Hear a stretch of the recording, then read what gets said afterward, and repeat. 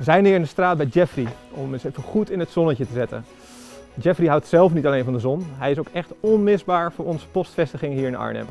's Ochtends is hij altijd de eerste die de deur opent voor onze postmedewerkers om ze super enthousiast op pad te sturen om jullie post vroeg in de ochtend te bezorgen. Dus eh, tijd om hem eens eh, te gaan verrassen.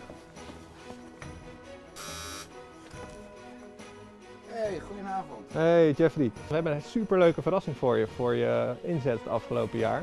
Oh, top. Geniet ervan en fijne feestdagen hè. Dankjewel. Hey, jij ook. Ga je eh,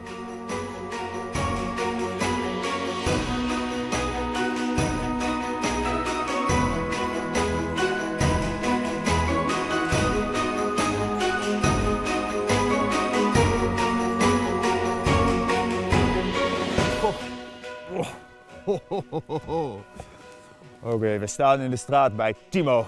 Timo is onze sorteerheld van fietscouriers.nl in Nieuwegein. Werkelijk waar, Timo man. Hij verwerkt duizenden pakketten per dag, nog meer dan de kerstelfjes. Hij is van onschatbare waarde voor bedrijfsleider Edwin en daarom gaan we hem een mooie verrassing bezorgen.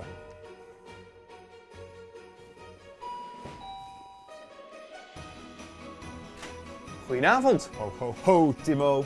Een eh, bedankje voor jou van Cycloon voor je harde, toomloze inzet.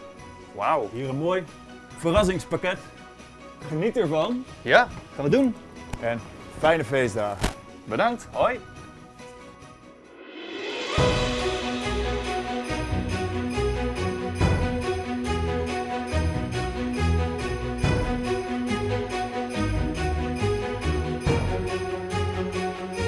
We zijn vandaag in de straat van Jeltje. Jeltje is heel behulpzaam geweest. Ze heeft onze fietscouriers de afgelopen tijd flink geholpen met een lokale opdracht. Daarom gaan we Jeltje nu verrassen met een presentje voor de feestdagen.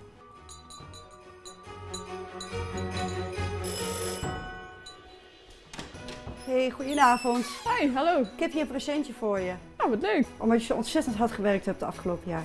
Nou, wat Ik wens je leuk. hele fijne feestdagen. Nou, dankjewel. Nou, doei. Hoi. Doei.